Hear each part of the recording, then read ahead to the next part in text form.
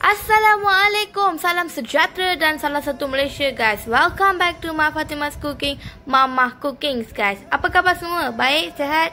Alhamdulillah. So, minggu ni kita nak buat apa guys? Ma Fatimah nak menunjukkan resipi kari ketam mamak guys. Memang sedap, memang terbaik. Korang mesti kena try dekat rumah anda. So, sebelum korang tengok video ni Jangan lupa untuk tekan like, share dan subscribe ya guys. So, jom kita tengok bahan-bahan yang diperlukan ya.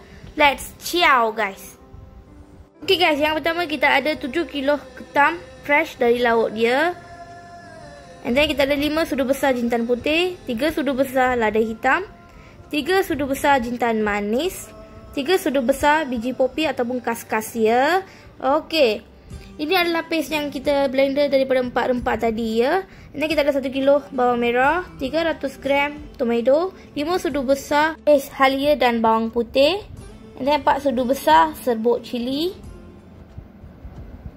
And then kita ada daun kari.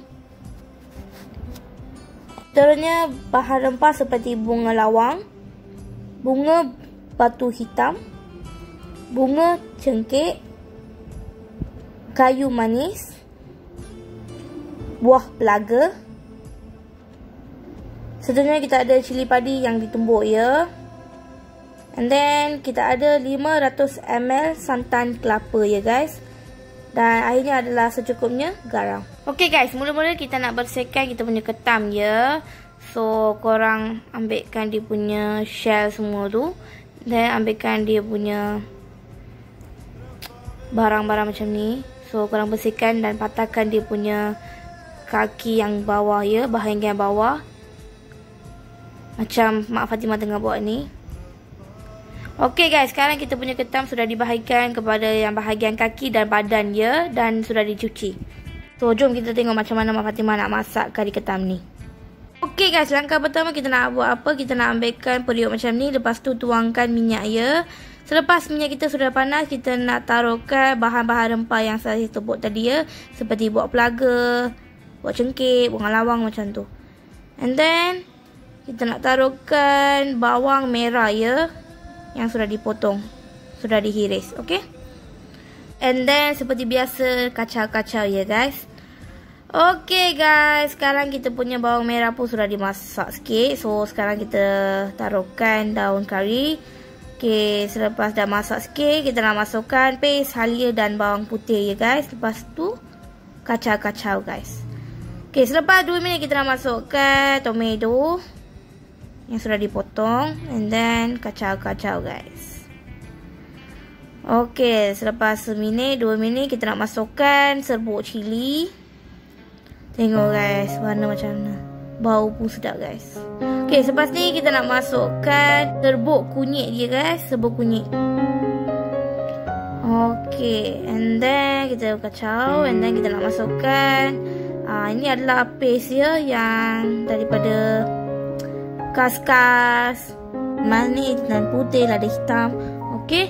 Okey guys, sekarang kita nak buat apa? Kita kacau-kacau sikit. Lepas tu kita taruhkan air daripada paste tadi. Okey. And then sekarang kita nak masukkan ketam ya guys. Ha, kita sudah bahagikan daripada badan. Lepas tu kita nak tuangkan bahagian kaki guys. Kaki ke tangan? Apa-apalah guys. Lepas tu korang kacau ya. Ha. Kalau korang tengok sekarang tak cukup air kan Kita nak kari kan So kita nak buat apa? Tuangkan air Sedikit dulu. And then kita nak masukkan Cili padi guys. Yang ditumbuk ya. And then kacau. Kacau-kacau guys. Okay sekarang kita tengok kita sudah kacau. Lepas tu yang paling penting adalah Kita nak taruhkan garam guys So Mak Fatimah tengah tuangkan garam batu ya. And then tuangkan air secukupnya untuk kari kita. Okay Okay lepas tu kacau balik guys. Okay guys. Sekarang kita sudah sampai kepada langkah terakhir Iaitu kita nak masukkan santan kelapa guys. Selepas 10 minit dia kita masak. And then kita masukkan santan kelapa dan kita boleh tutupkan dapur guys. So akhirnya kita punya kari ketan dah siap guys Selamat mencuba. Okay guys, kalau korang suka video ni jangan lupa untuk tekan like, share dan subscribe ya guys. Jumpa lagi minggu depan.